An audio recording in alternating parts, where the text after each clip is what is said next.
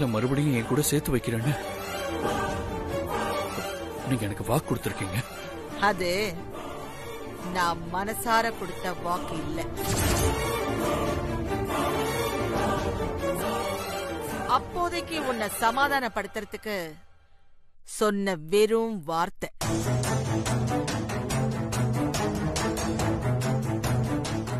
இப்ப சொல்லிக்கிட்டு இருக்கேன் பாத்தியா? தாராவதா நீ கல்யாணம் பண்ணிக்கணும்னு. இதுதான் நான் மனசுல இருந்து சொல்ற வார்த்தை.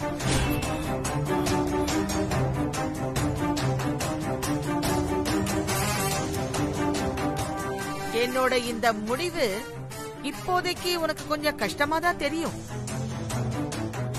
ஆனா போக போக உன் வாழ்க்கைக்கு இதுதான் சரியான முடிவுங்கிறத நீயே புரிஞ்சுப்ப. அந்தஸ்து தகுதி தராதரம் எல்லா வகையிலையும் உனக்கு இந்த தாராதான் பொருத்தமானவர்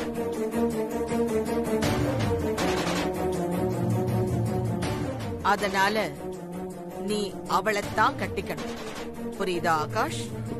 பாட்டி உங்களை எதிர்த்து பேச எனக்கு விருப்பம் இல்ல பாட்டி. இருந்தாலும் ஒரே ஒரு விஷயத்தை மட்டும் சொல்லிக்கிறேன்.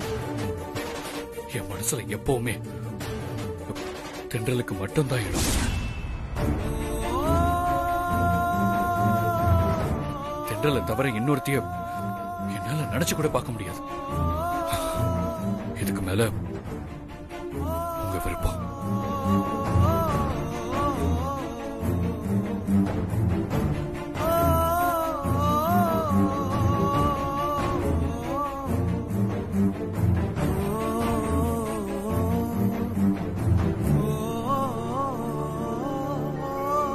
இத்தனை நாள் உங்க முன்னாடி கூனி குறுகி பயந்து நின்னதெல்லாம் போதும். இனி நான் அப்படி இருக்க வேண்டிய அவசியம் இல்ல. இதோ பாருங்க உங்களை பார்த்து என் புள்ள வேணா பயப்படலாம். நான் பயப்பட மாட்டேன்.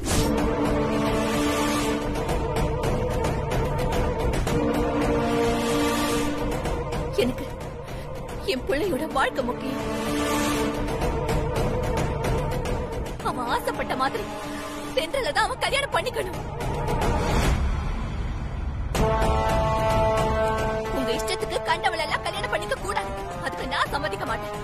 ஏய் நீ என்னடி சம்மதிக்கிறது? ஆகாஷ் என் பேரன். ஆ, அதுக்கு முன்னாடி ஆகாஷ் ஏன் புள்ள. அவன பத்து மாசம் சுமந்து கஷ்டப்பட்டு பெத்தவனா நான் பெத்ததுனாலதான் அவன் உங்களுக்கு பேரன். என் புள்ள மேல உங்களுக்கு இருக்கிற உரிமையை விட எனக்கு தான் உரிமை அதிகம். என் புள்ள யார கல்யாணம் பண்ணிக்கணும்? அவன் வாழ்க்கை எப்படி இருக்கணும்ன்றதெல்லாம் நான் தான் தீர்மானிக்கணும். நீங்க இல்ல. போதும்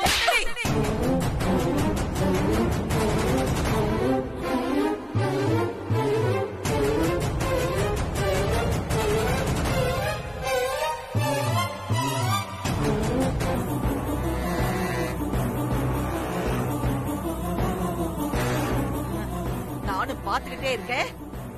ஓவரா பேசிக்கிட்டே போற? என்ன பார்த்தாலே பயந்து நடுங்குறவ நீ. இன்னைக்கு இவ்வளவு தைரியமா எதிர்த்து பேசுற?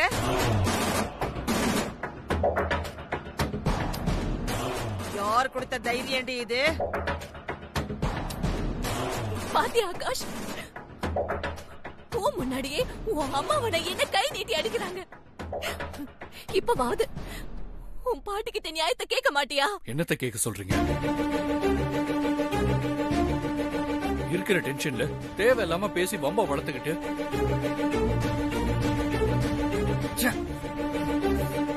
வீட்டுல இருக்கவே எனக்கு பிடிக்கல.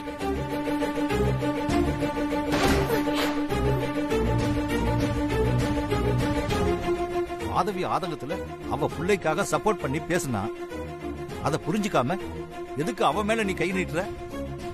இதெல்லாம் ரொம்ப தப்பு. மரியாதையா அவகிட்ட நீ மன்னிப்பு கேளு. என்னது?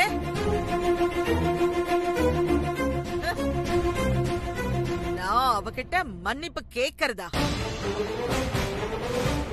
என்கிட்ட பேசுற பேச்சுக்கு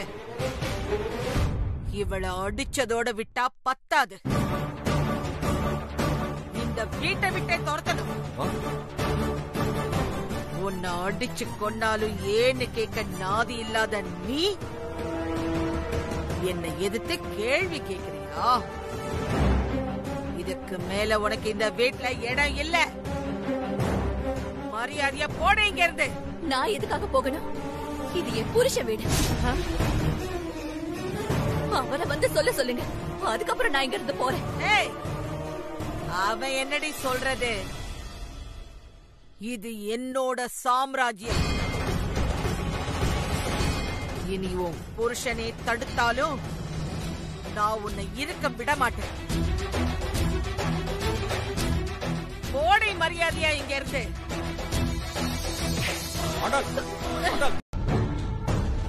ஏய் நீ எங்கடி இங்க வந்த? கோடி இங்க இருந்து.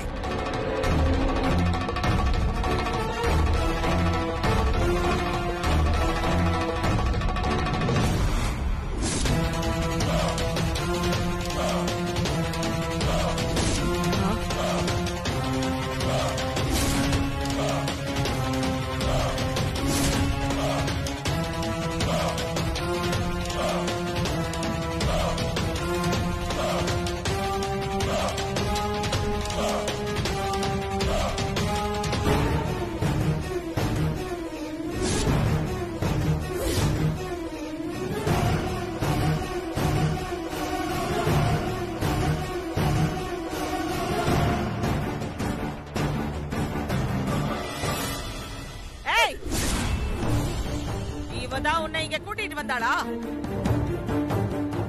இவ கூப்பிட்டா நீ வந்துருவியா? நான் தான் உன்னை கழுத்த பிடிச்சு வெளியே தள்ளல கொஞ்சம் கூட வெக்கம் இல்லாம அப்புறம் எப்படி உள்ள வந்த? ஓடு இங்க இருந்து. நிறுத்துங்க.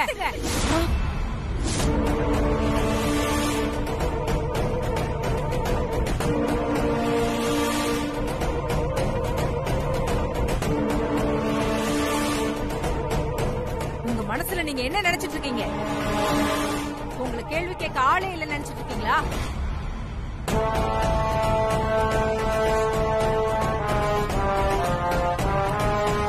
நீங்க பண்ண கொடுமை தாங்க முடியாம மாதவி குளத்துல விழுந்து தற்கொலை பண்ணிக்க பார்த்தா.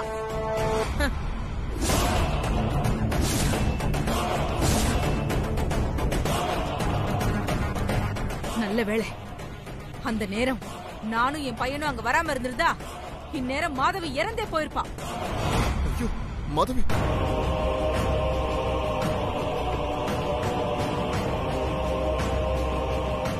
மாதவி எதுக்கு தற்கொலை பண்ணிக்கணும்?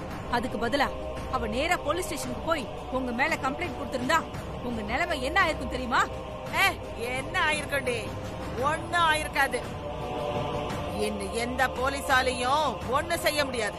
பணம் இருக்கிற திமிர்ல தானே நீங்க இப்படி எல்லாம் ஆடிட்டு இருக்கீங்க? உங்க பண திமிருக்கு யார் வேணாலும் அடங்கி போலாம். ஆனா இந்த சாரதா அடங்கி போக மாட்டான்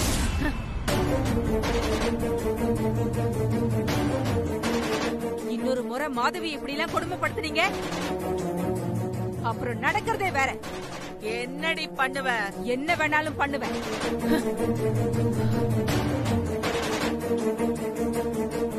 இங்க பாருங்க. நான் இந்த குடும்பத்தை விட்டு எப்பவோ பிரிஞ்சு போனவன். அதனால எனக்கு இங்க எந்த அங்கீகாரமும் நான் எப்பவும் கேட்க போறதில்ல. ஆனா மாதவிக்காக நான் கேட்பேன். ஏன்னா அவ உங்க கொடுமையெல்லாம் சகிச்சுக்கிட்டு இத்தனை வருஷமா இந்த குடும்பத்துல வாழ்ந்துகிட்டு இருக்கிறவ. அவளை இங்க இருந்து போக சொல்றதுக்கு இங்க யாருக்கும் எந்த உரிமையும் கிடையாது.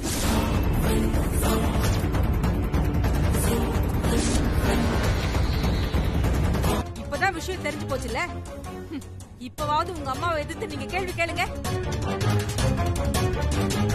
ஏமா என் பொண்டாட்டியை வீட்டை விட்டு துரத்துனீங்க? உங்களுக்கு யாருமா அந்த ரைட்ஸ் கொடுத்ததுன்னு கேளுங்க.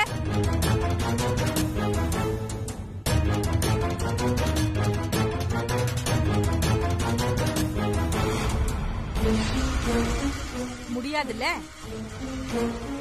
இத்தனை வயசுக்கு அப்புறமும் உங்க அம்மா கிட்ட அவ்வளவு பயம்.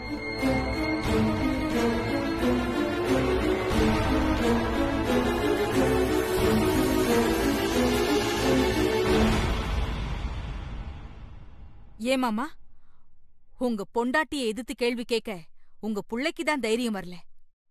உங்களுக்கும் ஏன் வரமாட்டேங்குது?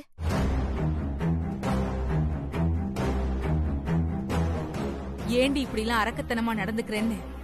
உங்க பொண்டாட்டிய நாலு சாத்து சாத்தி அடக்கி வைக்க உங்களால முடியலல்ல?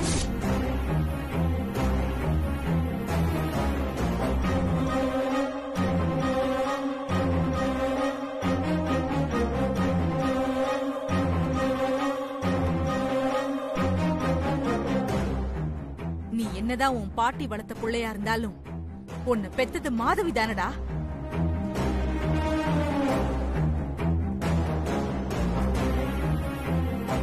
நீ அவ வயிற்றுல தானே பிறந்த? அவ இல்லாம நீ பிறந்திருப்பியா?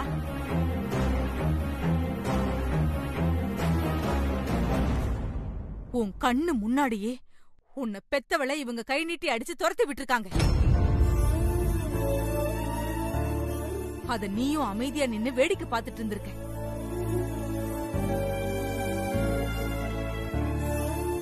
நீ எல்லாம் என்னடா புள்ள?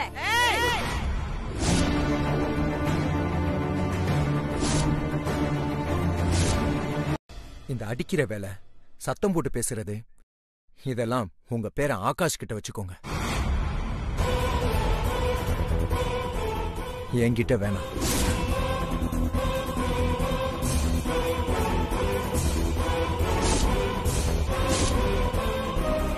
ஏன்னா நான் நீங்க வளர்த்த ஆகாஷ் இல்ல. எங்க அம்மா சாரதா வளர்த்த சித்து.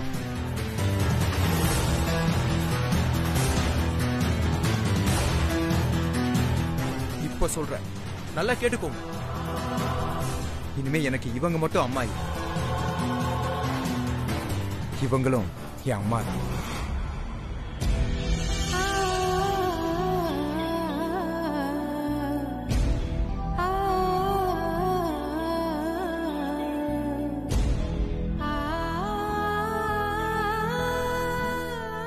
இன்னொரு தடவை என் மாதவி அம்மாவை சீண்டி பார்த்தீங்கன்னு வைங்க. உங்க பேரு ஆகாஷ் மாதிரி. நான் பார்த்துட்டு சும்மாலாம் இருக்க மாட்டேன்.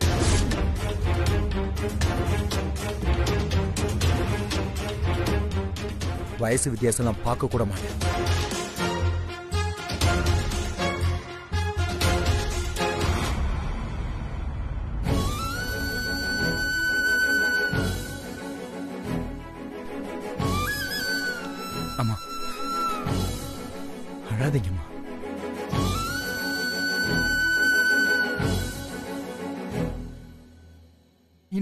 நீங்க பெத்த புள்ள உங்களை கண்டுக்கலையேன்னு கவலைப்படாதீங்க.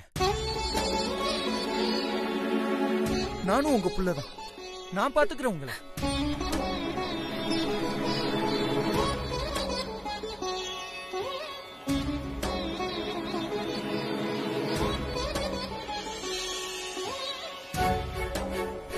இந்த வீட்டுல உங்களுக்கு என்ன பிரச்சனை வந்தாலும் எனக்கு உடனே தெரியப்படுத்துங்க.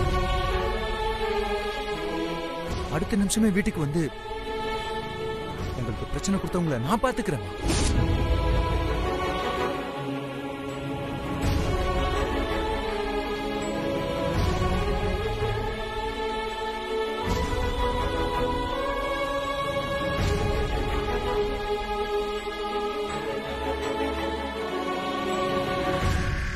இத்தனை நாளும் மாதவிக்கு யாரும் இல்லைன்னு நினைச்சுதானே? அவளை உங்க இஷ்டத்துக்கு கொடுமைப்படுத்திட்டு இருந்தீங்க? இப்ப அவளுக்கு அக்காவா நான் இருக்கேன்.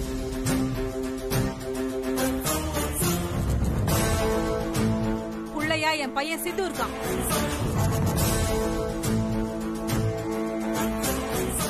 இனிமேலாவது மாதவி கிட்ட ஜாக்கிரதையா நடந்துக்கங்க.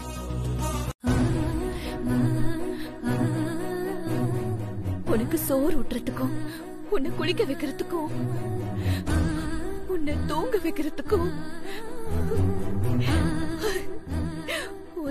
ஒரு கொடுத்த உரிமையை கூட இந்த அம்மாவுக்கு கொடுக்கலடா.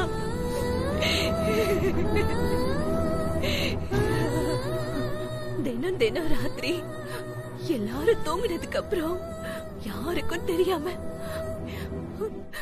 ஒரு திருடி மாதிரி வந்து ரூம் ஜன்னலுக்கு வெளியே வந்து நின்னு உன்னை பார்த்து அம்மா அழுதுகிட்டே இருப்பேன். இந்த தாய்க்காவது இந்த மாதிரி ஒரு கொடுமை நடக்குமா? எனக்கு நடந்தது. இப்ப வரைக்கும் நடந்துட்டு தான் இருக்கு.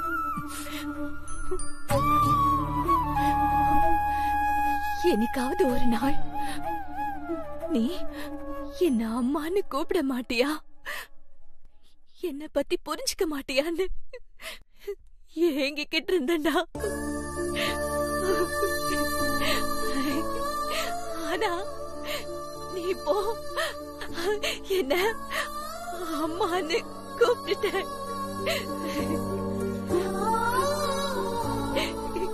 உன் கையால இந்த அம்மாவுக்கு சோறு ஊட்டி விட்டுருக்க போதும்பா. இது போதும் எனக்கு. இந்த சந்தோஷத்திலேயே இப்பவே செத்து போயிடலாம். போல இருக்கு.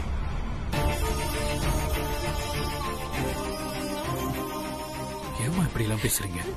இல்லப்பா இனிமே எல்லாம் சரியாயிடும். அம்மா ஒண்ணும் இல்ல. நீங்க ரெஸ்ட் எடுங்க.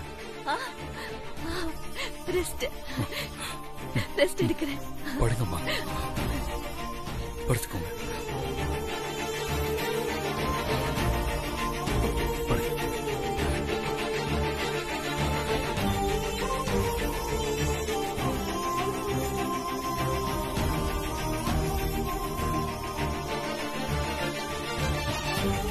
தூங்குங்கம்மா அம்மா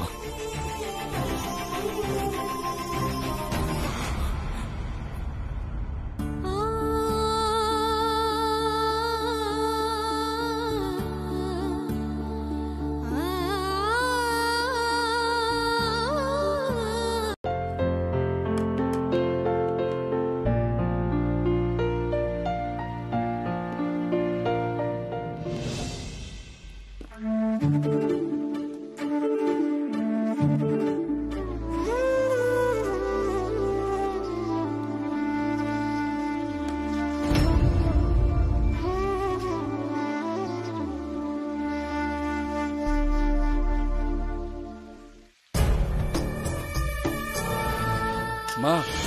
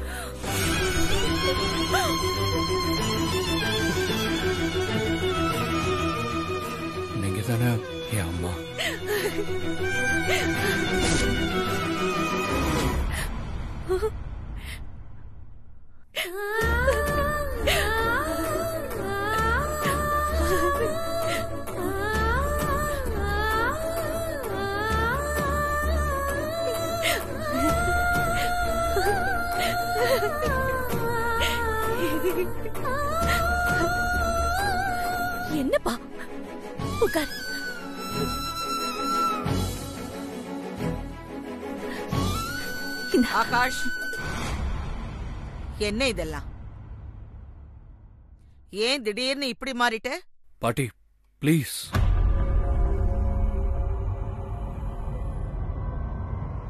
என் அம்மா கையால சாப்பிடணும்னு எனக்கு ரொம்ப ஆசையா இருக்கு.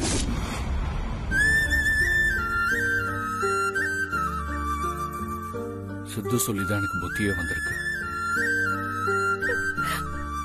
அந்த சித்து சொன்ன மாதிரி பெத்த தாய்கிட்டே வெறுப்பு காட்டுற என்ன? எப்படி மனுஷனா மதிச்ச ஒரு பொண்ணு வருவா?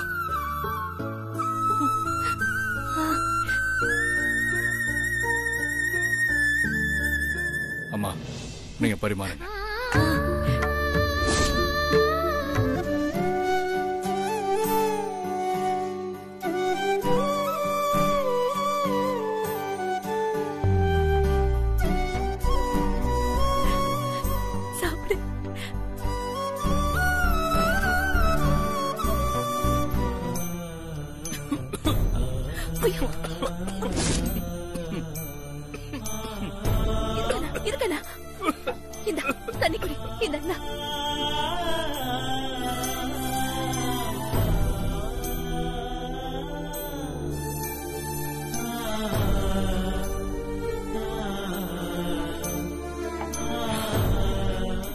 ரெண்டே ரெண்டு இட்லி சாப்பிடு ஆகாஷ். போதும்மா. அம்மா இன்னைக்கு தான் எனக்கு சாப்பிட்ட மாதிரியே இருக்கு.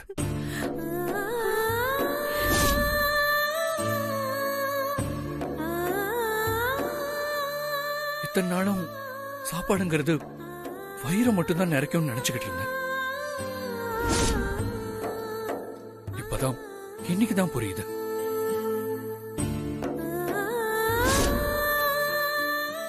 கையால சாப்பிட்ட அந்த சாப்பாடு வயித்த மட்டும் இல்ல மனசையும் நிறைக்கும்னு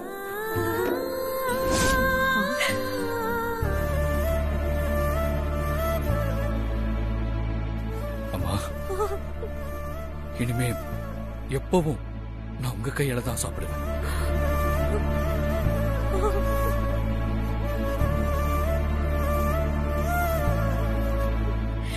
சரிப்பா.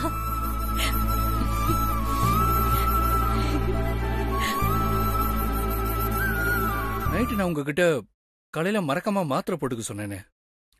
ஞாபகம் இருக்கா? ஆகாஷ் அப்போ நைட்டு நிஜமாவே நீ என் ரூமுக்கு வந்தியா? ஆமாமா ஏன் கணுவன் நினைச்சீங்களா?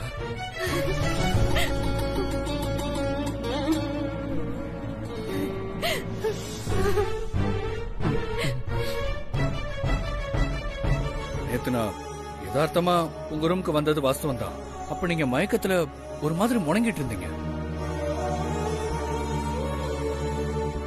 என்னன்னு உங்களை தொட்டு பார்த்தேன்.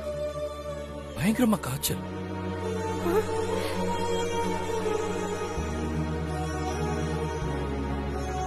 நான் ஹாஸ்பிடல் கூப்பிட்டு நீங்க வரமாட்டேன்னு சொல்லிட்டீங்க.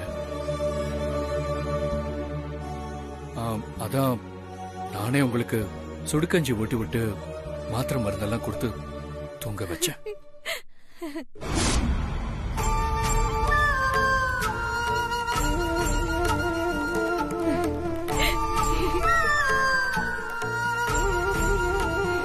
இப்போ காய்ச்சல் எப்படி இருக்குமா?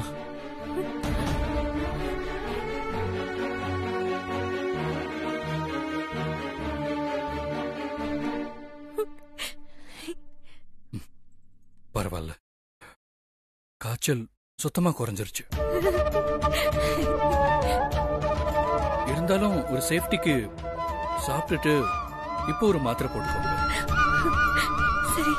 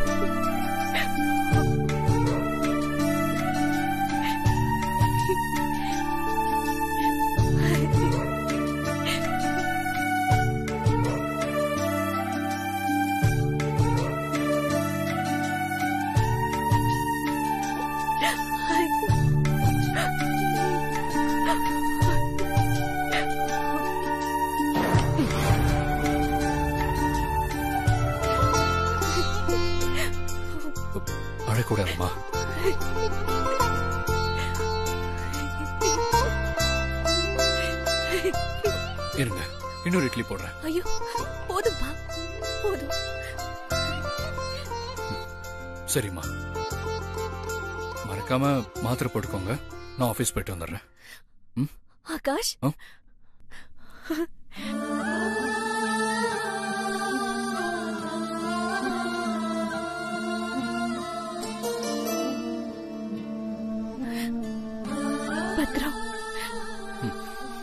சரிப்பா. பார்த்து போயிட்டு வா. கிளம்பு.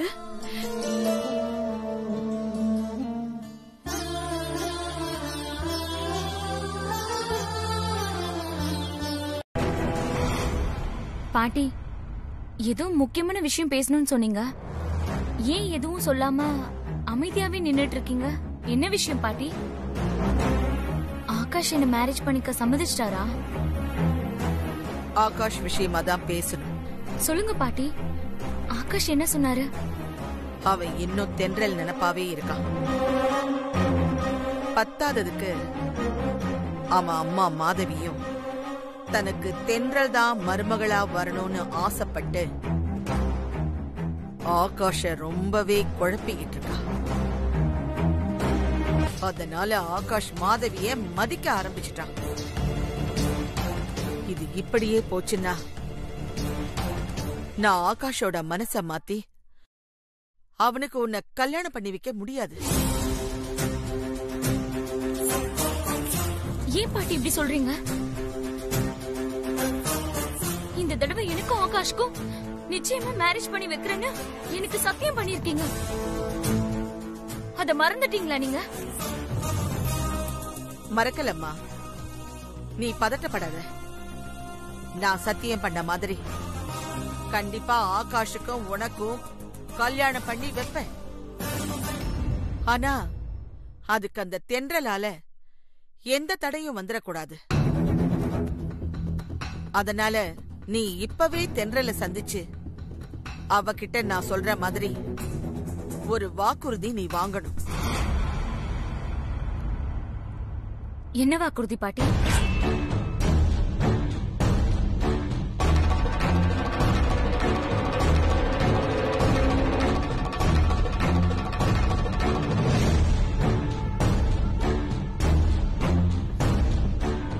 கிட்ட இப்படி ஒரு வாக்குறுதி வாங்கிட்டா ஆ- ஆகாஷ்க்கும் எனக்கும் கல்யாணம் நடந்துருமா பாட்டி? கண்டிப்பா நடக்கும். நான் நடத்தி காட்டுறேன். நீ சீக்கிரம் போய் தென்றல பாரு. சரிங்க பாட்டி. ஃபைவ் மினிட்ஸ்ல வந்துடுறேன். ம்.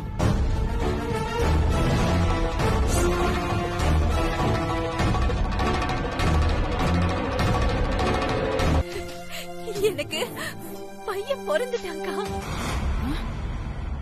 மா அவனுக்கு இப்ப வயசு என்ன தெரியுமா? இருபத்தி நாலு. பேரு ஆகாஷ்.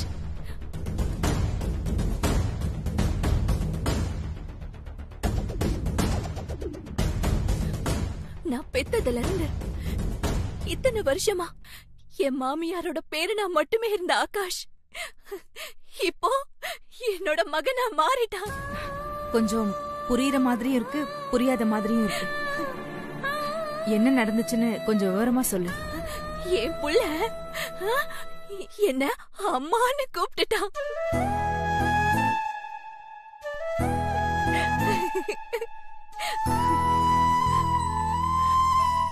அம்மான்னு கூப்பிட்டாக்கா? அதுவும் என் மாமியார் முன்னாடியே. என் புள்ள வாய் நிறைய என்ன அம்மான்னு கூப்பிட்டான். அது மட்டும் இல்ல. இந்த அம்மாவுக்கு அவன் கையாலேயே சோறு ஊட்டி மாத்திரை கூட கொடுத்தான். எனக்கு இத கேட்கவே ரொம்ப சந்தோஷமா இருக்கு.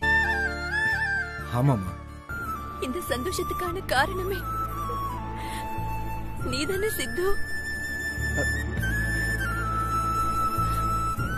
ஒரு அண்ணன் ஸ்தானத்துல இருந்து நேத்து நீ அவனுக்கு சொன்ன புத்திமதி தான் அவன் இப்படியெல்லாம் மாத்தி இருக்கு இப்போ நீ என்னோட கண்ணுக்கு என் புள்ளைய மீட்டு கொடுத்த. கடவுள் மாதிரி தெரியற. அம்மா என்னம்மா இதெல்லாம்? இவ்வளவு பெரிய வார்த்தைலாம் பேசுறீங்க.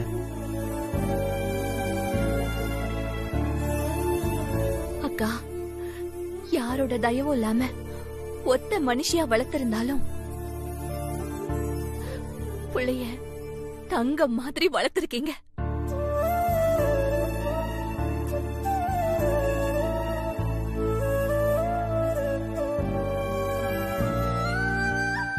இனிமே சித்து உங்க புள்ள மட்டும் இல்லக்கா.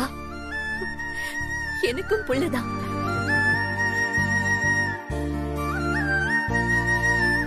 நான் பெறாத இந்த புள்ளையாலதான். இப்போ நான் பெத்த புள்ள. எனக்கு திரும்பவும் கிடைச்சிருக்கா. இனிமே எனக்கு எந்த கவலையும் இல்லக்கா.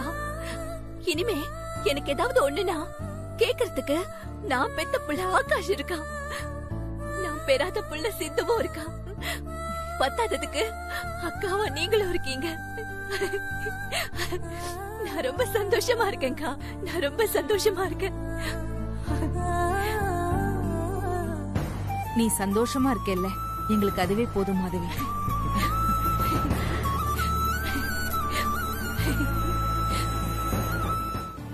என்னால உங்க கல்யாணத்துல என்ன பிரச்சனை வரப்போகுது? இல்லங்க. ஏற்கனவே ஆகாஷ் உங்களை நினைச்சுக்கிட்டு தான் என்ன வேணான்னு சொல்லி அவாய்ட் பண்ணிட்டாரு. அவரு இன்னும் உங்களை மறக்கவே இல்லைங்க. இப்ப கூட அவரு உங்க நினைப்பாதான் இருக்காரு.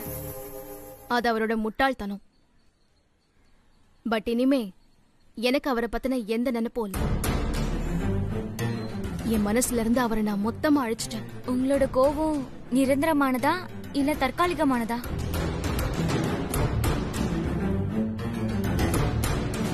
இல்லங்க நீங்க ஆகாஷ மறந்துட்டீங்களான்னு தெரிஞ்சுக்கிறதுக்காக தான் கேட்டேன். எனக்கு அவரை பத்தின எந்த நினைப்பும் இல்ல. இனிமே எனக்கும் ஆகாஷ்க்கும் எந்த சம்பந்தமும் கிடையாது. நீங்க தாராளமா அவரை கல்யாணம் பண்ணிக்கலாம். என்னால உங்க கல்யாணத்துக்கு எந்த இடைஞ்சலும் வராது. போதுமா? உங்களோட வார்த்தைய நான் நம்பலாமா? வேணும்னா நீங்க ஒரு ஸ்டாம்ப் பேப்பர் வாங்கிட்டு வாங்க. என்னால உங்க கல்யாணத்துக்கு எந்த இடைஞ்சலும் வராதுன்னு எழுதி கையெழுத்து போட்டு கொடுக்கறேன். இல்லங்க அதெல்லாம் எதுவும் வேண்டாம். நீங்க இப்படி சொன்னதே எனக்கு ரொம்ப சந்தோஷம். தேங்க் காட் இப்பதாங்க எனக்கு ரொம்ப சந்தோஷமா இருக்கு. Thank you so much thank you Andal பாட்டி சொன்ன மாதிரி தென்றல் கிட்ட இருந்து வாக்குறுதி வாங்கியாச்சு. இனிமே ஆகாஷ் நம்ம சந்தோஷமா மேரேஜ் பண்ணிக்கலாம். ஐயோ. ஓகே தென்றல். பாய் எங்க ஒரு நிமிஷம்.